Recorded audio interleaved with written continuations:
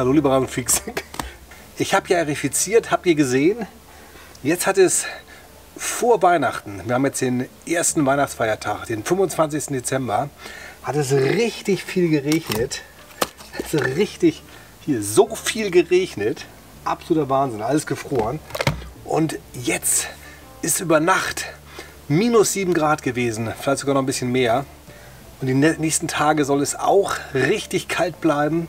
Das heißt, diese Idee, dass das Wasser, der Regen erstmal tief in den Boden eindringt durch die offenen Löcher und jetzt unten gefriert, könnte funktionieren. Yeah!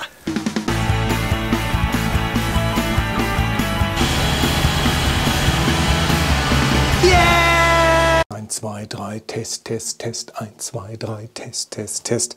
Na, Mikro, gehst du noch? Ich habe es gerade runtergeschmissen. So.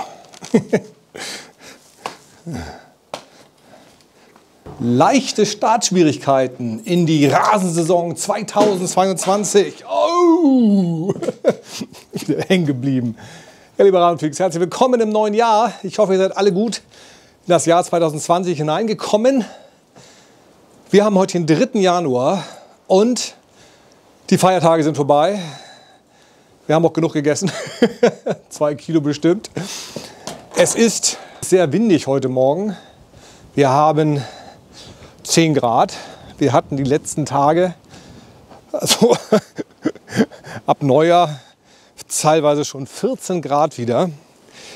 Jetzt ist es ein bisschen durchwachsen. Es nieselt ganz leicht. Und es ist Wahnsinn, wie viele braune Stellen ich hier habe auf meiner Fläche. Aber teilweise fängt der Rasen schon richtig wieder an zu wachsen. Also man sieht deutlich, wie die Gräser herauskommen. Also gerade hier, wo ich nachgesehen habe, fängt es also richtig an zu wachsen. Ich will gleich mal die Schnitthöhe bzw. die Rasenhalmlänge messen. Uiuiuiui. 30, teilweise 35. Einige Helme, also die meisten sind so zwischen 20 und 30 Millimeter. Ja, so seht ihr das. Also zwischen, zwischen 20 und 30 Millimeter. Um jetzt hier natürlich die Schnitthöhe zu halten, müsste ich jetzt eigentlich mähen. Aber wie ihr wisst, ist jeder Schnitt eine Schädigung des Grashalms, eine, eine Schnittwunde. Und von daher überlege ich mir das jetzt wirklich gut. Wenn das natürlich weiter so warm bleibt die nächsten Tage, dann könnte man einen Schnitt wagen.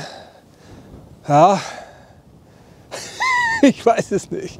Vielleicht mache ich das ja noch. Aber jetzt gehen wir in die Werkstatt. Viel Spaß dabei. Ab in die Werkstatt, yeah. Silberanfix. da sind wir wieder. Da sind wir wieder in der Werkstatt. Jetzt können wir also weitermachen. Wir haben wieder einen ganz normalen Wochentag. Ihr müsst wahrscheinlich schon arbeiten. ich darf hier in der Werkstatt jetzt wieder basteln, darf wieder Lärm machen. Ich muss natürlich die ganzen Metallteile jetzt äh, putzen, schleifen und lackieren. Hier die Aludruckus-Teile. Ich hatte es euch ja gezeigt hier. Die, die Aludruckus-Teile, die müssen einmal ein bisschen übergebürstet werden. Dazu habe ich mir wieder eine neue Bürste gekauft. Das ist hier für, für eine Flex, so eine Metallbürste, die eben auf einer Flex verwendet werden darf. Habe ich schon jetzt mehrere Male gekauft. Äh, diese Bürsten, die funktionieren echt ganz gut. Ganz wichtig ist immer bei diesen Bürsten, dass das eine gute Qualität ist. Und deswegen kaufe ich hier Made in China. Made in China. Ein Pappkarton. Ja, lässt sich nicht helfen, aber es ist immerhin von Bosch und Bosch, denke ich, sorgt auch in China für eine gute Qualität. Es ist manchmal echt frustrierend, immer diese China-Sachen. Genau, das ist so eine Bürste mit ganz feinen Drahtzinken und wichtig ist bei diesen Bürsten, dass diese Drahtzinken nicht so schnell rausfliegen, dass sie also gut geklemmt sind und dass sie auch nicht so schnell verschleißen. Und die haben sich eigentlich ganz gut bewährt, diese Dinger. Und damit putze ich dann halt eben meine ganzen Metallteile. So sieht eine abgenutzte Bürste aus. Die kann man natürlich auch noch eine Zeit lang benutzen. Und so sieht eine neue Bürste aus. Ja, benutze ich die jetzt auch noch mal weiter. Na, mal gucken. Aber irgendwann fangen die immer an, hier ihre Drähtchen wegzuschleudern und dann fliegen die wie so, wie so Dartpfeile, zack, in die Klamotten rein und dann stecken die da drin und man piekst es und dann kriegst du es nicht raus und oh. So, gut, was wir noch machen wollen und was ich ähm, am Ende meines letzten Videos euch ja gerade noch so gezeigt habe, ist, äh, ist das Lösen der Untermesserschrauben. Toro verwendet hier sehr große Untermesserschrauben mit einem ziemlich breiten Schlitz. Und die hatte ich ja hier im letzten Video eingespannt. Das habe ich jetzt mal aufgeräumt hier.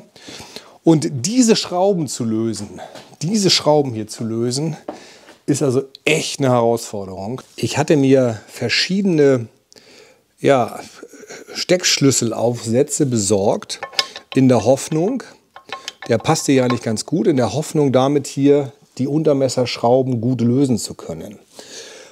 Beim E-Flex, bei meinem Toro E-Flex, bei meinem Greensmeer, handgeführten äh, Greensmeer, habe ich das ja auch schon mal gemacht. Das könnt ihr auch noch mal in dem Video gerne euch anschauen. Und das war nicht so richtig gut. Ich musste teilweise diese Schrauben dann ausbohren. Und jetzt habe ich mir doch, jetzt habe ich mir doch für richtig viel Geld, richtig, richtig, richtig viel Geld. Also ich glaube, es sind 60 Euro, was das Ding hier kostet. Ich kann mal nachgucken. Also weit über 50 Euro. Habe ich mir von Toro diesen Original Steckschlüsselaufsatz gekauft, um diese Schrauben zu lösen. Und ich bin jetzt so gespannt, ob sich diese Schrauben damit halbwegs vernünftig lösen lassen. Ausbohren ist immer gruselig. Ich habe jetzt diese ganzen Schrauben hier mit dem guten alten Karamba eingesprüht. Das ist jetzt im Laufe der Zeit hier richtig reingezogen. Und ich werde jetzt mal meinen Schlüssel nehmen und testen, ob ich die lösen kann. So, vorher, liebe Rasenfreaks, werde ich aber erstmal diesen ganzen Messerbalken einmal überschleifen, einmal putzen, den alten Lack hier runter bürsten, die einmal blank machen, diesen ganzen gusseisernen Messerbalken und dann schraube ich sie ab. Viele schreiben unter meinen Videos immer, dass man bei drehenden Werkzeugen keine Handschuhe benutzen darf. Ähm, beim, Bohr, äh, beim Bohrständer ist das richtig, bei der Bohrmaschine ist das richtig, absolut. Ähm, ich habe auch noch mal nachgelesen auf der Homepage der Berufsgenossenschaft zum Thema Arbeitssicherheit. Da steht beim, bei der Flex, dass man bei der Flex durchaus ähm, auch Handschuhe benutzen darf. Und äh, ich sage auch an dieser Stelle, ne, das ist kein How-to-Video, das ist kein Video, keine Arbeitsanweisung, sondern ich mache das hier aus ganz eigener Verantwortung heraus und ihr seid völlig selbstverantwortlich. Wenn ihr an solchen Geräten rumschraubt, wenn ihr mit solchen Maschinen arbeitet, seid ihr völlig selbstverantwortlich. Äh, ich mache euch hier nicht irgendwas vor, was ihr nachmachen sollt. Also, trotzdem, ich habe nachgelesen, also Arbeitshandschuhe bei der Flex äh, sind laut Berufsgenossenschaft äh, noch zulässig. Ob ich das hier reinnehme, weiß ich nicht. Aber ich finde das ja mal sehr gut, wenn ihr mir äh, da solche Hinweise gebt. Äh, das soll ja auch nicht irgendwie Blödsinn sein, was ich hier mache. Ich glaube, ich mache genug Blödsinn. Aber äh, wenn doch einer glaubt, das genauso machen zu müssen und er verletzt sich dann, ist es seine eigene Verantwortung. Gut, so, jetzt haben wir das Problem, dass wir hier, dass ich leider nur einen Drehmomentschlüssel habe zum Lösen der Schrauben. Aber das ist, das ist nicht gut, aber Oh, das war ja einfach. Ha! Das gibt's ja gar nicht. Los. Nächste.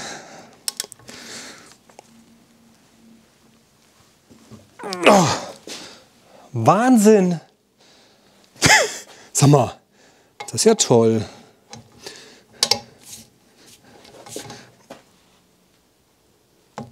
Ja, die gehen alle los. Das darf doch nicht wahr sein. Die schon? Ne, richtig ransetzen. Richtig reinsetzen. Ja. Hey. Das ist ja cool. Das ist ja cool.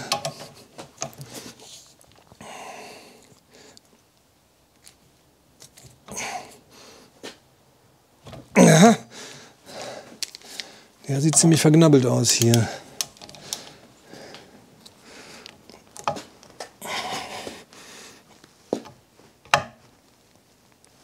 Nee. Scheiße.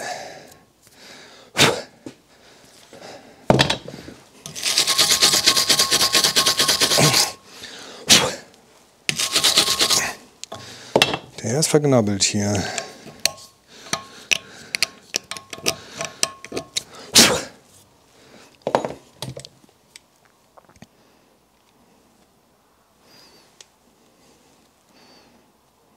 Also hochfest ist das Werkzeug auch nicht.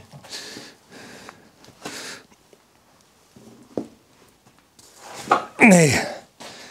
Kacke. Ah, ich soll eigentlich nicht schimpfen hier. Der ist, der ist Mist.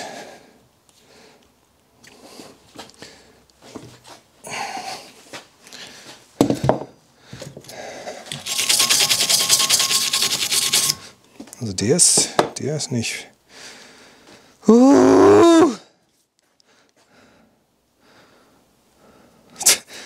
Das Werkzeug hat schon eine kleine Macke, ey.